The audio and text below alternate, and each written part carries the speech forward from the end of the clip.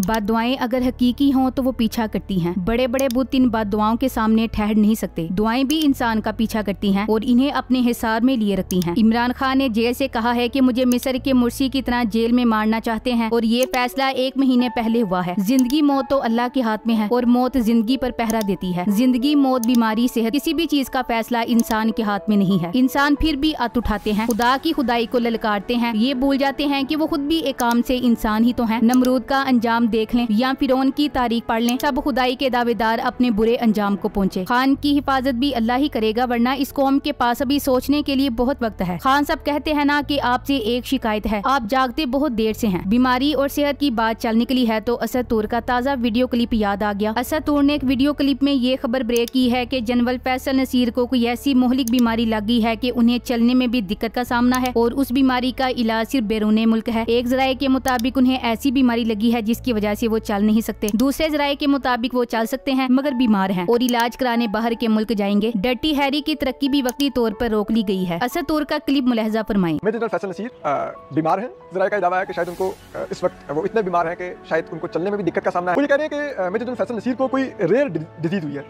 और उस rare disease का जो इलाज होगा, वो बैरून मुल्क से होगा, वो शायद पाकिस्तान में नहीं होगा। हर इलाके का एक डीजीसी होता है, जो अपने शहर के सियासी मामला की देखभाल करता है। सियासी तोड़ जोड़ करना, सियासी पार्टियों के मामला की खबर रखना, इलेक्शन की सूरत हाल का ध्यान रखना, इसी पोस्ट के जिम्मे है। आई एस आई के अंदर ये इंतहाई अहम और ज़िम्मेदारी वाली पोस्ट होती है। जनरल फैसल नसीर साहब पिछले कुछ अर्से में खासी मुतनाज़ा शख्सियत रहे हैं। इनके बारे में बहुत सारे लोग बहुत सारी बातें करते रहे हैं। जैसा की इमरान खान इन्हें डर्टी हैरी कहते हैं। डर्टी हैरी बुनियादी तौर पर एक इंग्लिश फ़िल्म का किरदार है। इंडिया और कुछ दूसरे मुल्कों में लोग अपने आर्मी चीफ के नाम तक से वाकिफ नहीं होते। मगर पाकिस्तान में चूँकि आर्मी चीफ कौम का बाप माना जाता है, बकोल कुछ सियासतदानों के तो इनके नाम और चेहरा सब जानते हैं। बल्कि पाकिस्तानी कौम इतनी बाशोर कौम है की अपनी डीजीसी के नामों से भी वाकिफ होती है। लिहाजा जब डीजीसी साहब बीमार हुए तो इनकी बीमारी के बारे में खबर को खासी दिलचस्पी से सुना गया। बल्कि लोगों के लिए ये जनरल फैसल नसीर की बीमारी की खबर इंतहाई सरप्राइजिंग थी। डीजीसी का अहदा डीजी आईएसआई से भी ज़्यादा अहम होता है, क्योंकि तमाम सेक्टर कमांडर इन्हें रिपोर्ट कर रहे होते हैं। तमाम सियासी मामला क्योंकि वो कंट्रोल कर रहे होते हैं, इसलिए उनका किरदार इंतहाई अहम होता है। जनरल फैसल नसीर इस वक्त की इंतहाई मुतनाज़ा शख्सियत है। लेकिन अब इनके हवाले से एक इंतहाई तशवीशनाक खबर असद तौर के ज़रिए सामने आई है। बीमारी से सब अल्लाह की तरफ़ से है। एक नेक और अच्छा इंसान बीमार होता है तो लोग कहते हैं कि इस पर आजमाइश का वक्त है। जबकि कोई बद इंसान बीमार होता है तो लोगों की राय उस बारे में मुख्तिफ होती है। जितने इंसानों को उस शख्स ने सताया होता है, वो उनके घर वाले सब मिलकर उसे इतनी बद दुआएँ देते हैं कि वो जीते जी मर जाता है। बहरहाल हम लोगों को इस बात पर यकीन रखना चाहिए कि बीमारी अल्लाह की तरफ़ से है और वही शिफा देता है। इससे पहले रिटायर्ड जनरल परवेज मुशरफ के बारे में भी कहा जा रहा था कि उन्हें ऐसी बीमारी होगी थी जो बहुत कम लोगों को होती है। उन्हें बीमारी की हालत में ज़िंदगी के आखिरी अयाम, बहुत अरसा दुबई के एक फ्लैट में ज़िंदगी गुजारना पड़ी। जब नवाज़ शरीफ के साथ कुछ मामला सेटल हुए, उस वक्त उन्हें बिस्तर मर्ग पर पाकिस्तान लाया गया और एक रोज वो चुपचाप चल बसे। उनको इंतहाई खुफिया तरीके से खामोशी के साथ स्पुर्दे खाक कर दिया गया। परवेज मुशरफ के आखिरी दीदार का शरब भी शायद किसी किसी को हासिल हुआ हो, लेकिन सोशल मीडिया पर आन जहानी की मरने के बाद की कोई तस्वीर वायरल नहीं हुई। डीजीसी फैसल नसीर साहब भी मुल्क से बाहर इलाज की गरज से जा रहे हैं। लोग इनके बारे में मनपी बातें कह रहे हैं। एक्स की वेबसाइट बद दुआओं से भरी हुई है। एक एक्स यूज़र कह रहा है कि ये भी नवाशी वाली कहानी लग रही है। अल्लाह ऐसे लोगों की रस्सी मजीद दराज कर देता है ताकि अपनी सरकशी में मजीद इजाफा करें। जैसे नवाशी फौर जरदारी को डील दी हुई है। एक यूज़र ने तहरीर किया कि अरशद शरीफ शहीद का खून नहक बहाया। मासूम बच्चों को यतीम कर दिया। इसका बदला तो होगा कुदरत की तरफ़ ऐसी इमरान खान पर कातिलाना हमले का इल्ज़ाम भी पीटीआई वाले इनके साथ डालते हैं। बल्कि बैरिस्टर शहजाद अकबर ने एक इंटरव्यू के दौरान इंकशाफ किया था कि जेल से मेरी इतला के मुताबिक। इमरान खान ने सहाफियों से गुफ्तगू करते हुए बताया कि मुझ पर हमला जनरल फैसल नसीर और जनरल बाजवा ने करवाया। ये दोनों नाम खान साहब ने खुद लिए। अरशद शरीफ शहीद की मजलूम शहादत के सिलसिले में भी डीजीसी का नाम लिया जाता है। टोमी फैसल वाडा को खान साहब इसकी औकात बताते हुए कल ही जेल से कहा कि फैसल वाडा मेरे पीछे पीछे फिरता था। जनरल फैसल नसीर से मुलाकात कराऊँगा। खान साहब को क्या खबर थी कि फैसल नसीर साहब बीमार पड़ जाएँगे, वो भी इतने बीमार के कदमों पर चल फिर भी नहीं सकते। और इसीलिए इनकी पोस्टिंग भी रोक दी गई है। फौजी अफसर फैसल नसीर को कुछ माह पहले ही में मेजर जनरल के अहदे पर तरक्की दी गई थी, जिसके बाद वो अगस्त में पाकिस्तान की खुफिया एजेंसी आईएसआई में तैनात हुए हैं। वो आईएसआई के इंटरनल विंग, जिसे आम तौर पर पॉलिटिकल विंग या सिर्फ़ सी भी कहा जाता है की सरबराही कार्य है। इस अहदे को आम तौर पर डीजीसी कहा जाता है। आईएसआई के सबक सरबराह लेफ्टिनेंट जनरल फैज उम्मीद भी बतौर मेजर जनरल इसी अहदे पर तैनात रहे थे। मेजर जनरल फैसल नसीर ने फौज की पंजाब